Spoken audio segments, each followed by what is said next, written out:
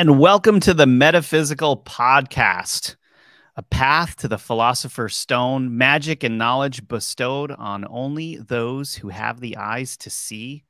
Powerful beings and phenomenal cosmic power. No, it's not a live action Dungeons and Dragons movie, but the story of the famed Emerald Tablets. Who was the being known as Thoth? Why were occultists like Aleister Crowley and men of science like Isaac Newton interested in what the Emerald Tablets had to say? And what is it about the material of the tablets themselves that made them so special? When you hear the data that remote viewer John Vivanco found about these relics of old, you'll wonder why no one else is talking about this. So join me, investigative researcher Rob Counts, and John for a show that's out of this world. And if you are listening to us, the Metaphysical Podcast, uh, or you're watching us on a video platform, please leave us a five star rating and review. It's going to help us out a lot. We really, really appreciate it. And make sure you like and subscribe wherever you're listening, watching, one of those things. Thank you, guys. Yes, we appreciate this. John, how you doing? Good. Good. I'm excited for this episode. Um, Thoth, Thoth. Is it Thoth or Thoth? Thoth, Thoth I call him. Thoth or Thoth. Like my first th is a little bit like Thoth. It's like if your mom, your mom had a lisp and she always called the Easter bunny Ether bunny, Ether bunny. and so you're like freaked out every time Easter comes around. Yeah. Kids, the Ether bunny's coming. And uh, and that's the end of the episode. That's who Thoth that's is. It. just kidding. All right, um, let's just get get on with this.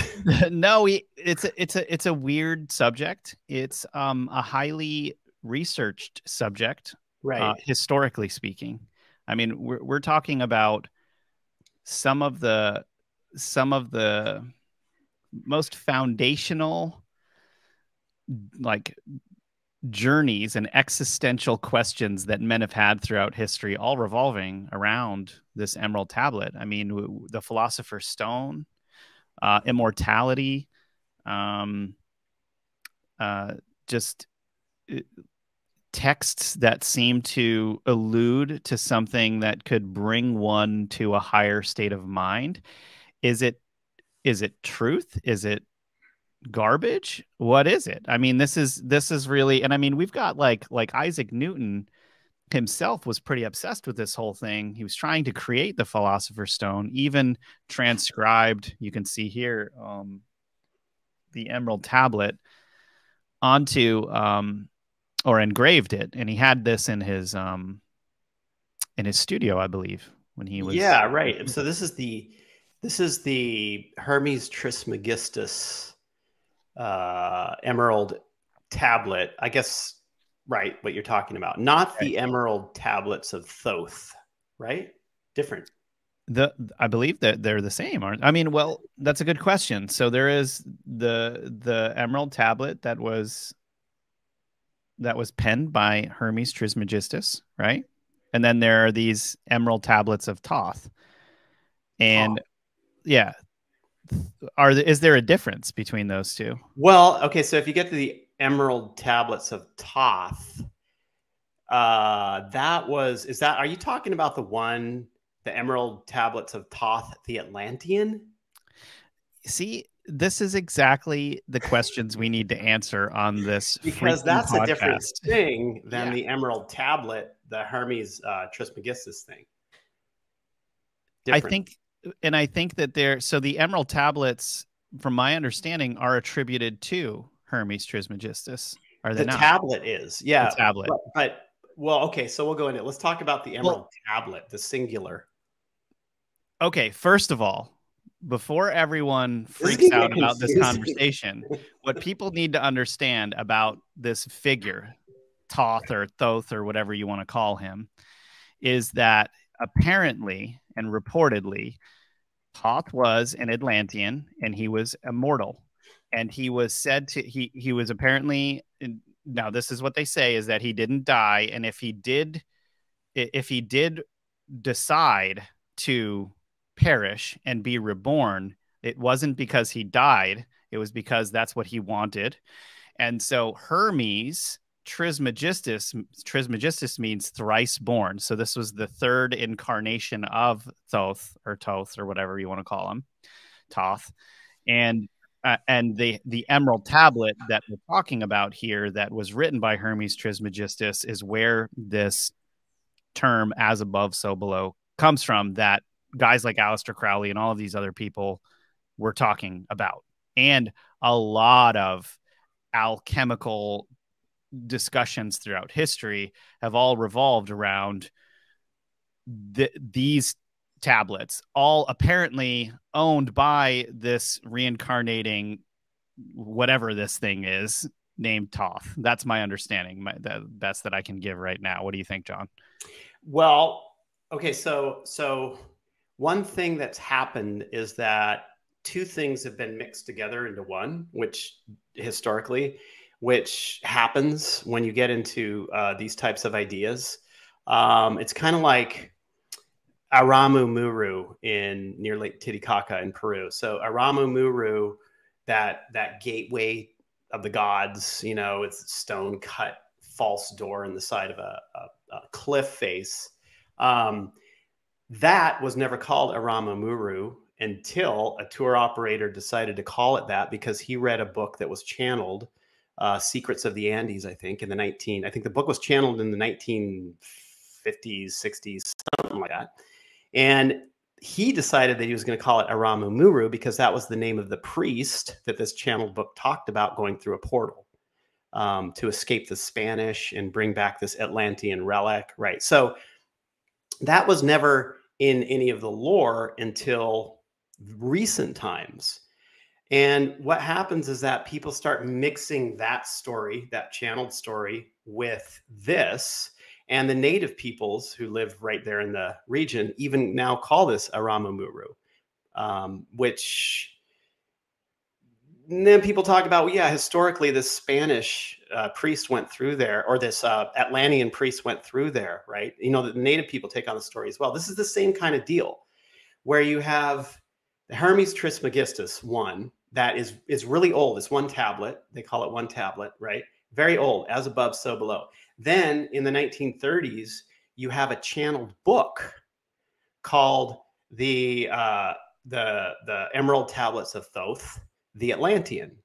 Okay, so that is separate from the original one, and right. now his now people are mixing those two things together.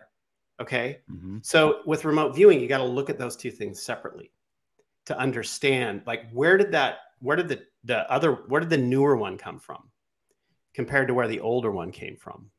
Um, so there's and, the, and the newer one in this case is which of those?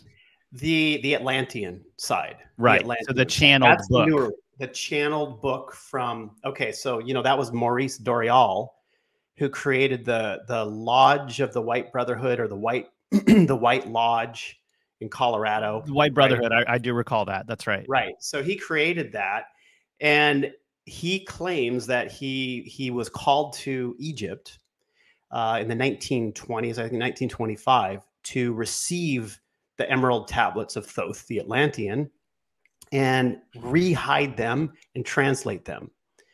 Uh, so he claims he went to Egypt. He did that. he came back and he got permission by the White Brotherhood to publish that. And so then that comes the book. And so a lot of the stories that you hear about that, the Emerald Tablets of Thoth the Atlantean, are that he actually translated them, translated by Maurice Doreal. That, that, that, really implies right there that it is a physical object, right? And he's a scholar of some sort, but that's not the case. Um, that's not the case. Hmm. Do you want to go down this path? No, I. It's good. Like I think this is. I think this is good because the the entire. I actually am not. I do think that they're.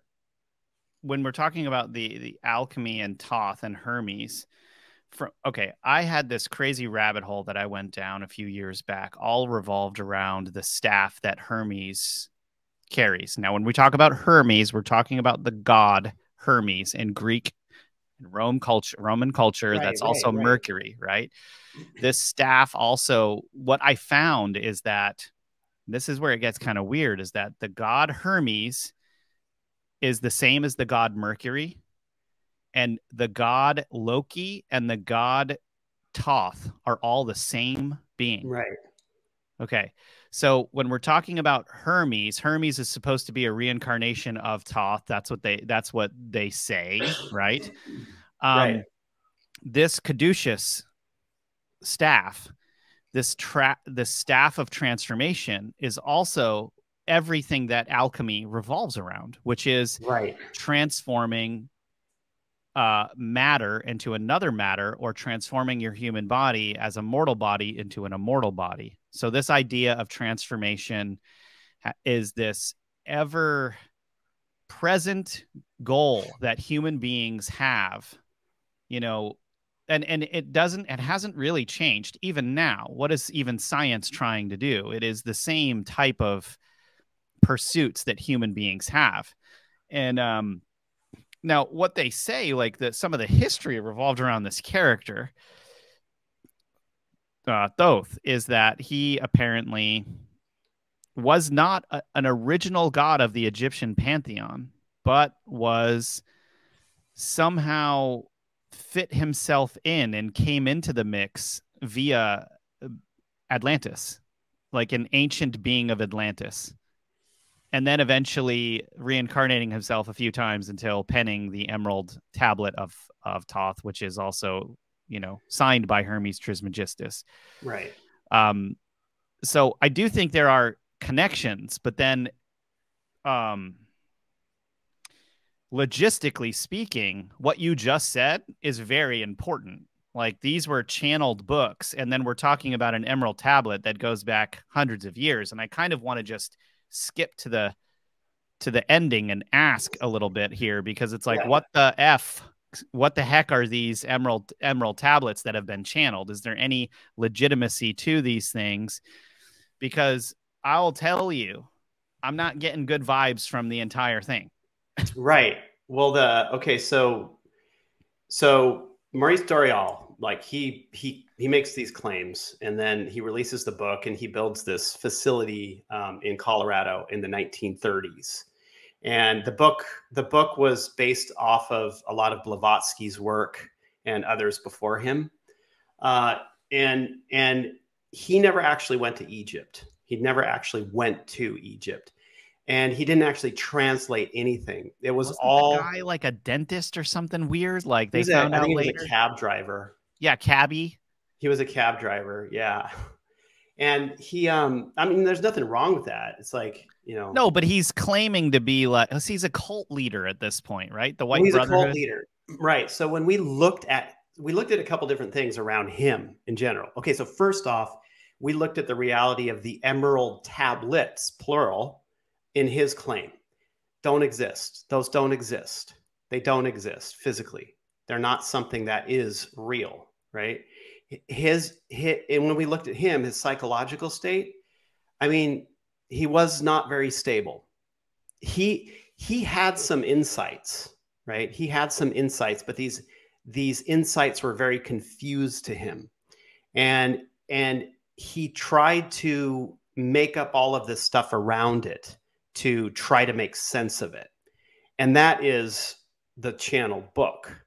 It's not it's not anything that is based in in a reality. Now, when you read the channeled book though, there are insights in there, right? There are things in there that that are like, "Oh wow, wisdom." Right? Oh, interesting, wisdom. And it will affect people. People will be like, "Wow, he really is, you know, channeling really something greater than truth, right? Right. You know, but but the thing is, is that he doesn't claim it's channeled. He claims that he went to Egypt. So there, there's a lot of issues I have when people put that in the forefront and not say I channeled this because right there they tell you that they're trying to they, they did they're just trying to hide something, right? So so the thing with a lot of the spiritualist type writings is that they will take nuggets of a of really good insight and then a bunch of stuff that's garbage.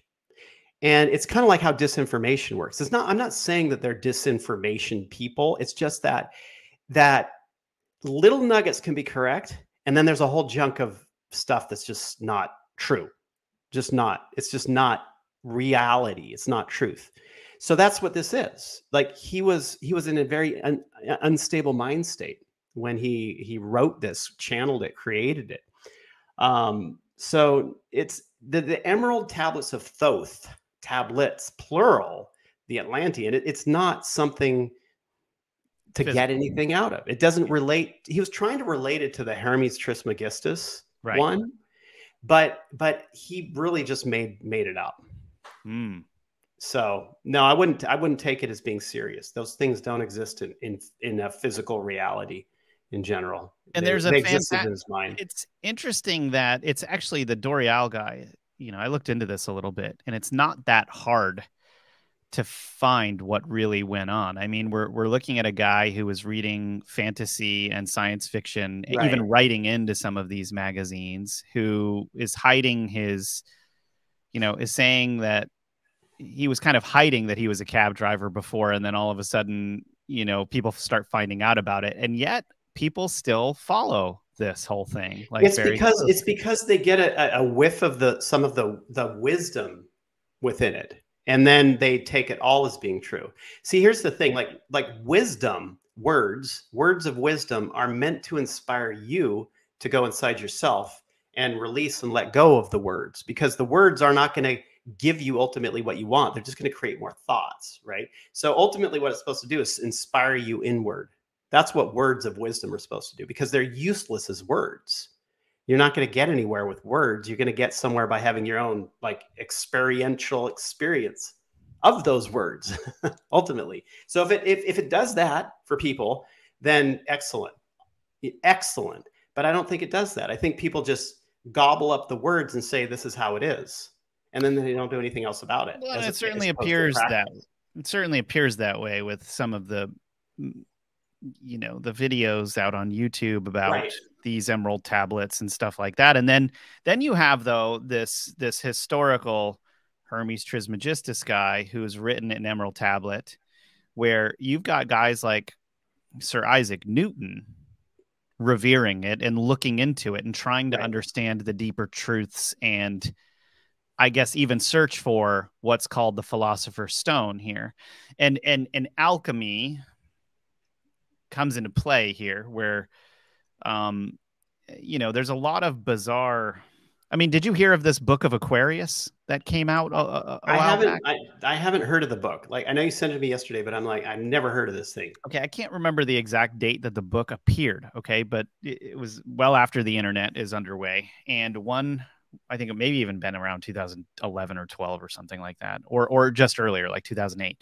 Anyway, point is, this book comes out it is released online as a you know many many page book right and it is supposed to unveil the methods to create the philosopher's stone over a okay. very long period of time and the philosopher's stone and what's bizarre about this is that the process this alchemical process is supposed to take place by boiling and distilling urine over a very long period of time, which is just kind of ridiculous, right?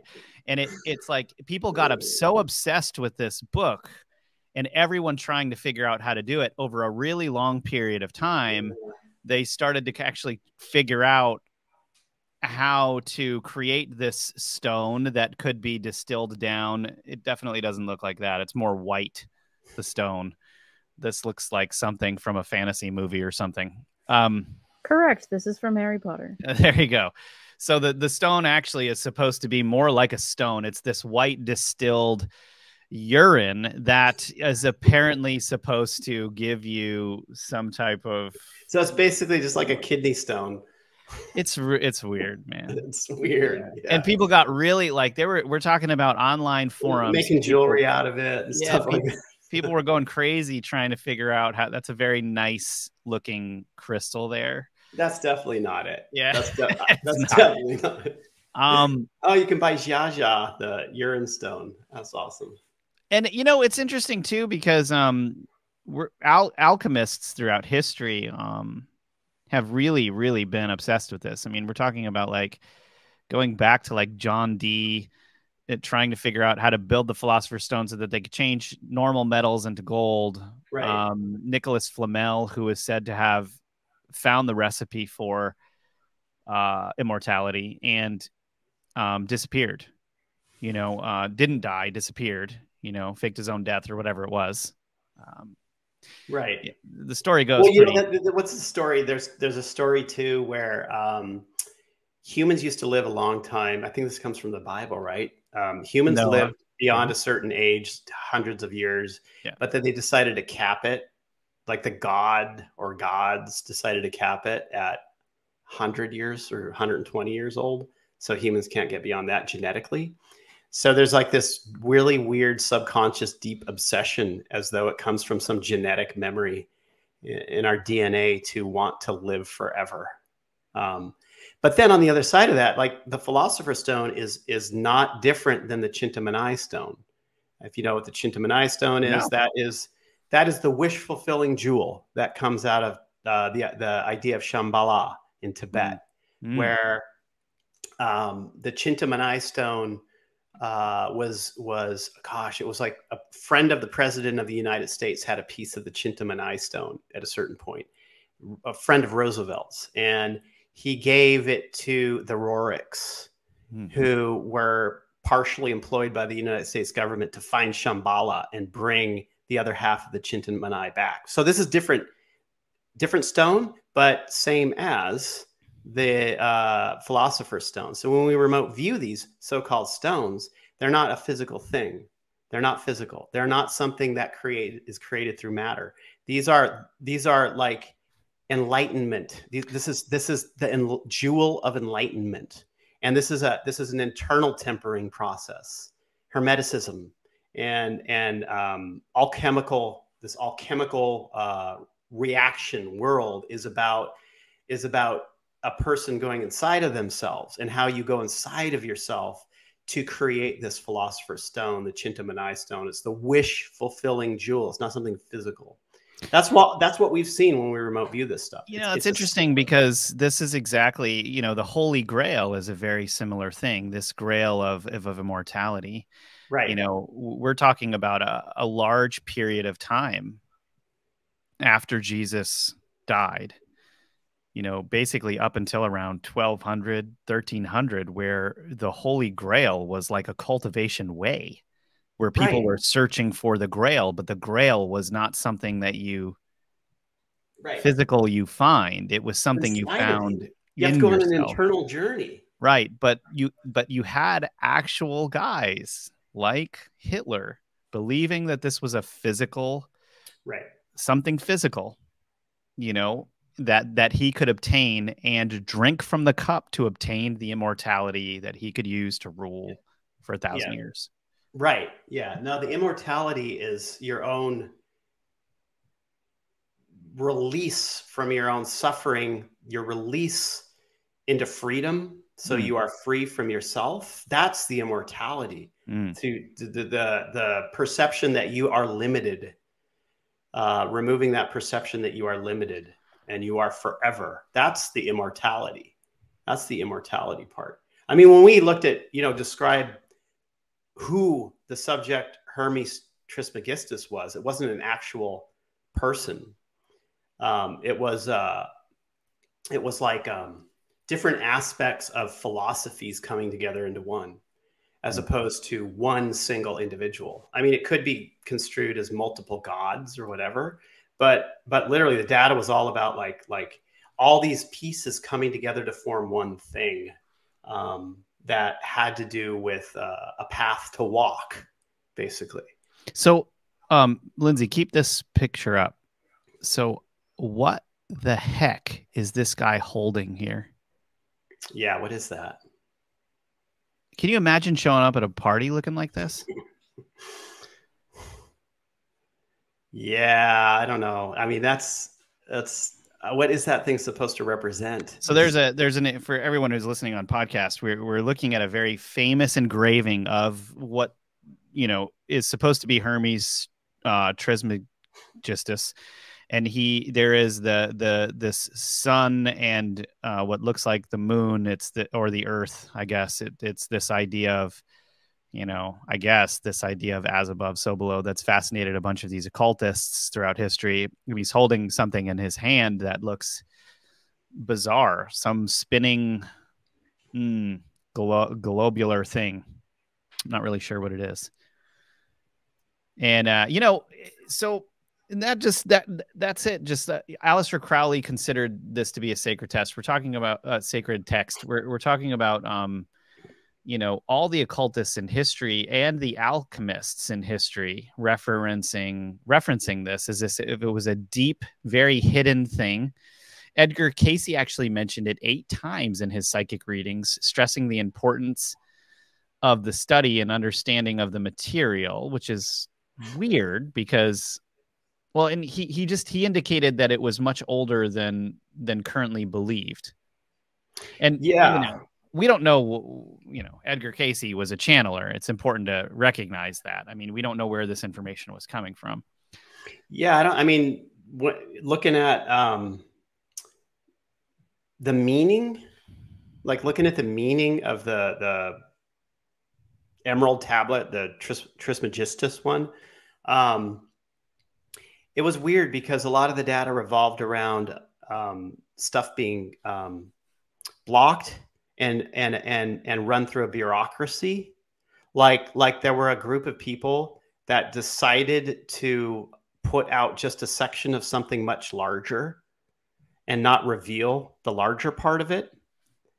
Um so i thought that was very strange in general. Like you know we're talking about hermeticism here and and this small like I, I tend to think that this small one single emerald tablet there's more to it based off of our data that's never actually been revealed but then you know when you get to the emerald tablets of thoth the atlantean and remote viewing that well the guy just made that stuff up so so it's a very this, this is a really really strange thing that is not straightforward in remote viewing data like there's a lot of holes in it. There's a lot of like, it's not going in this direction or that direction.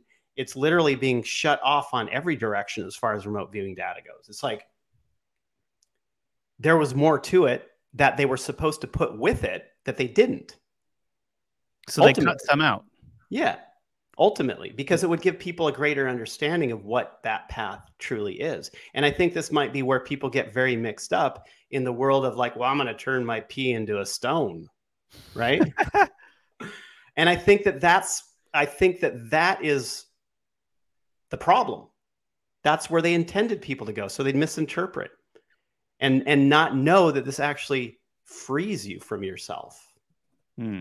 There's a video before we get into some more of this data. There's a video that I want to pull up. I actually sent you this video yesterday um, because I kind of like I like listening to the academic um, interpretations of things as much right. as I like getting into the metaphysical side of things. And uh, there is a, a doctor um, that I like listening to. His name's Dr. Uh, Justin Sledge, and he he's um he's a professor i can't remember what college and he has a youtube channel i believe the youtube channel is called esoterica i believe and uh, this is a clip from a video where he is he is attempting to shed light on the emerald tablet of Thoth, um, where he's kind of describing, and I want to help people understand this because it took me, a, I had to research quite a bit the confusion, the historical confusion around this, I guess you could say, script, document, tablet, whatever you want to call it, where before we watch the video, um, Lindsay's going to pull it up for us soon.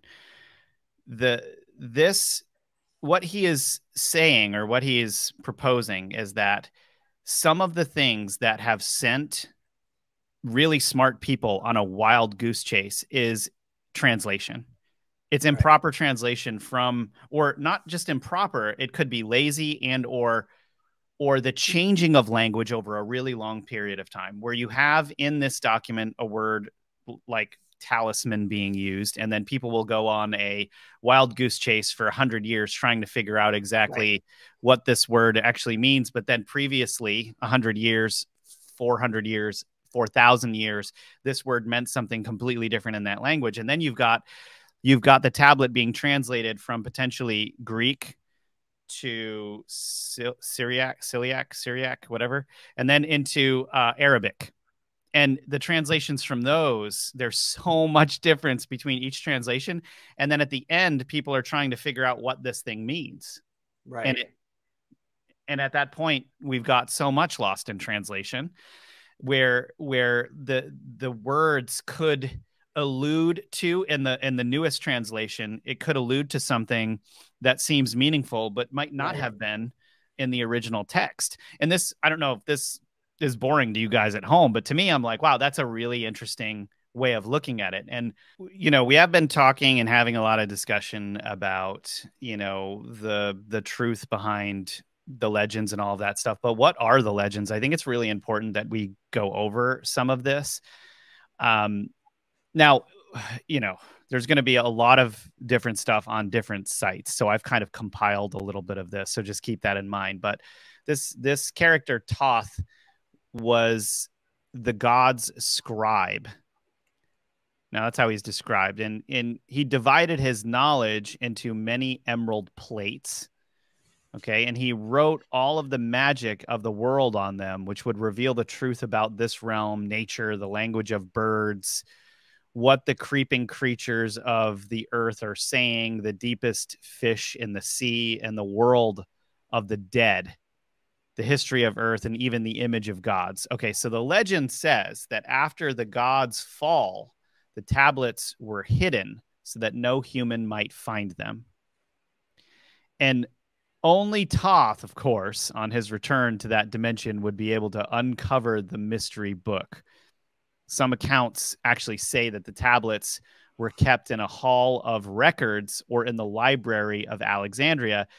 And um, now, this is actually where I think it gets even more interesting. So, the tablet was coveted by a king who stole it. He hid it inside a box within a box, within a golden box, which was protected by an immortal snake.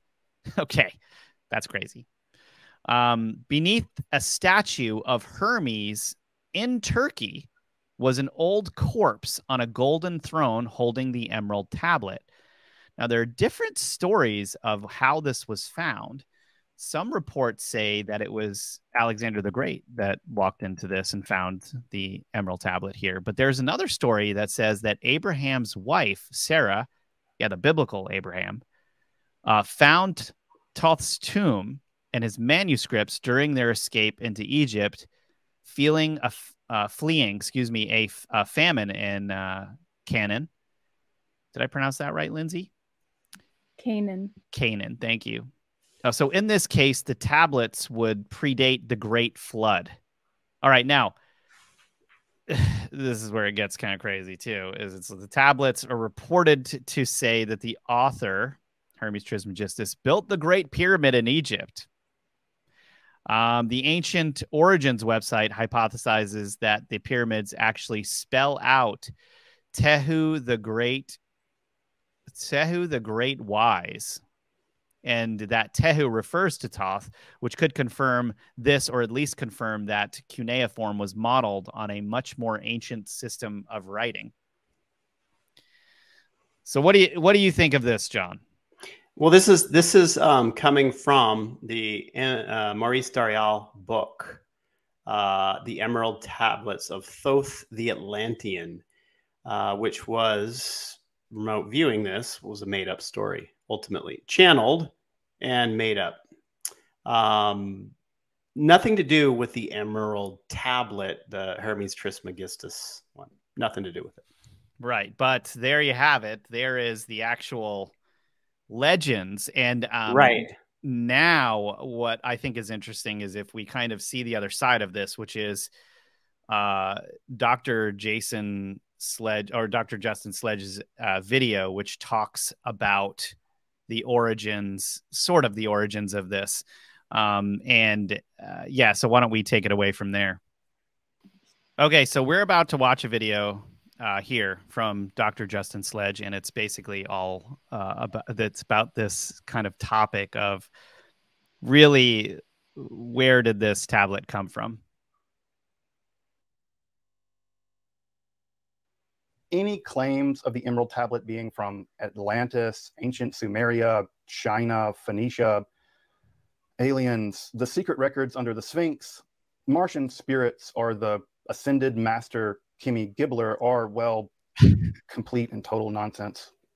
Bullshit.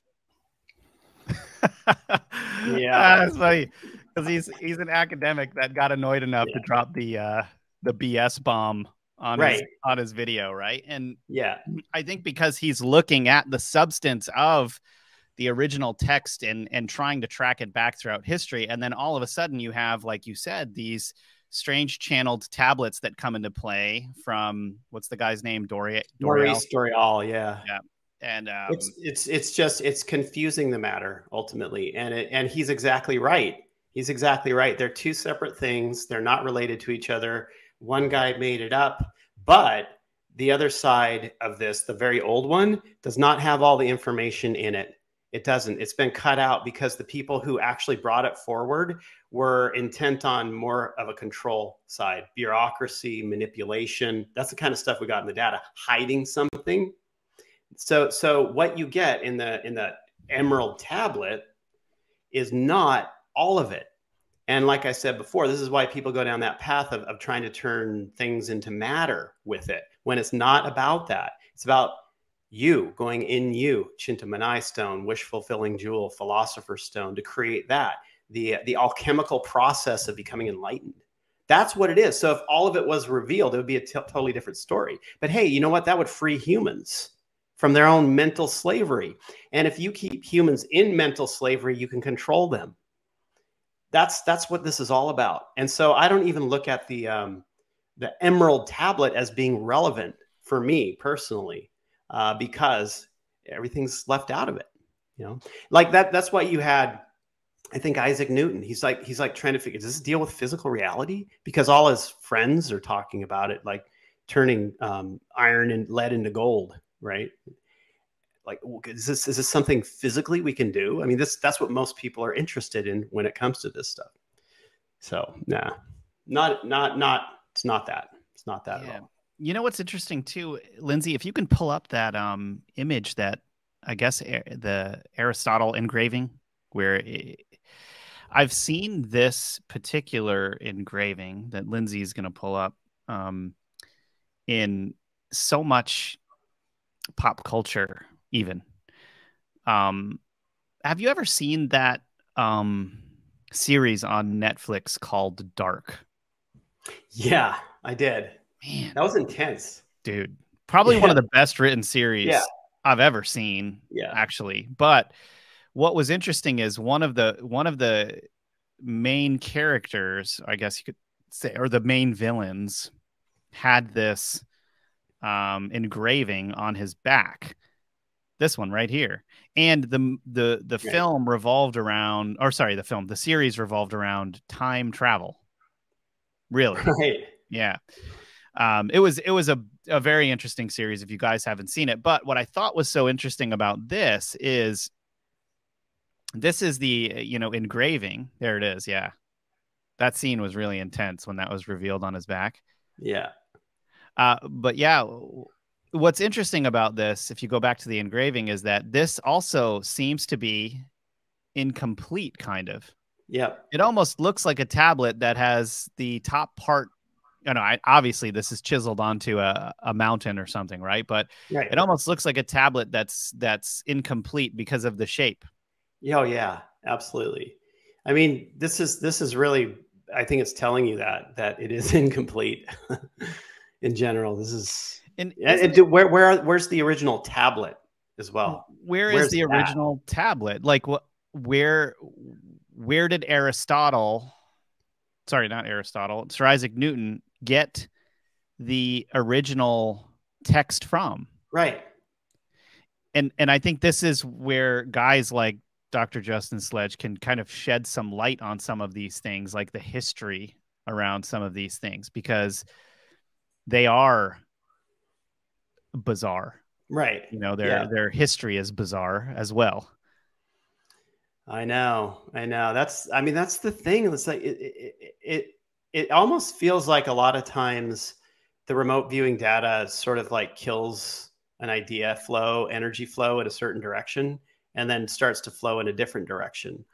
Um, and I know that a lot of people get upset. A lot of people will argue over, you know, what the remote viewing data said on this, but but it's it's it's one of those things that it's like people are always being kept in the dark over this sort of stuff and and take it in a different direction that's a waste of time and a lot of this stuff is a waste of time. Think about 100%. how many men spent their lives right. trying to concoct a philosopher's stone or figure things out because right. of an incomplete piece of text that that's in front of us. And the other thing that I think is so interesting is to me, this this is not this does not like undermine the excitement around this for me i think it makes it so much better because we just like look what we realized again it's like we have all of these people throughout history wasting their time on material things. Right. And when the actual answer to the immortality that you're looking for is actually inside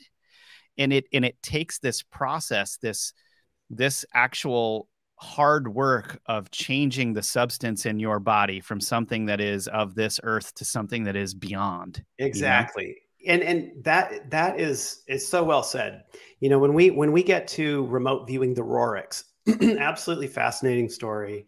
Nicholas and helena Roerich out of the 1930s was it? 1920s 30s sent to tibet to find shambhala by the united states government of all. I mean they were funded they were funded. Yeah. and and the most amazing thing that we saw in the data is that at a certain point, they realized that Shambhala is not something that exists for them to actually walk into, that it's an internal mental state, internal enlightened state. And so they started to actually work on their own process of enlightenment to get into Shambhala, right? But, but, but up until then, you know, these, these people are such materialists. They think they're going to go knock on a door, right? I mean, that was the other side of the whole Shambhala thing too, is that the governments were interested in the potential supernatural weapons. You know, hey, let's get these guys to go there. They're they're, they're quasi spiritual, and, and and they can maybe knock on the door of Shambhala, get in, then we can get their supernatural weapons. Right. I mean, man, it's funny. It's kind of sad. Well, and you know, at the same time, though, when we're we're looking at these different cultures that talk about Shambhala or paradise or heaven, these places aren't necessarily a figment of our imagination. We're talking about because they still actually exist. Right. Higher dimensional stuff. And how do you yeah. get there? But through that process right. of actually raising yourself. Like like what what I think is is is my take home here and and what I think that I hope everyone's take home from this episode is is that why are we like again why are we focusing on these material things when when the higher the higher answers are actually at levels that we need to obtain. Al- you can say alchemically the the taoists certainly in china were alchemists and yet they were trans they were transmutating their bodies into something higher right exactly and and so he you know we've got yeah. the same the same idea here and and you could say that in any process like the search for the holy grail the holy grail is that whole search we're talking about christians for hundreds of years searching for the grail inside themselves right. you know? It's beautiful actually. Yeah you know? yeah. that's what it is. That's what it all means. That's what it's about. And it's outside of words. No the words should inspire to, to take you for you you yourself to go on that experiential journey mm. because that's where the words came from to begin with. Mm. and the words are not it. The words only point to it where you're supposed to go with it and that's what's left out of the um, emerald tablet mm. very cool yeah, and actually, um, you know what's funny too is we talked about this in a previous episode. Everybody's looking for this philosopher's stone, and yet if, everybody is yeah, if, if you raise you know if you raise your your level you like monks' bodies, we've talked about this, end up accumulating right. these stones in them called sarira. And it's not actually an accumulation of stone in the body, it's after the body.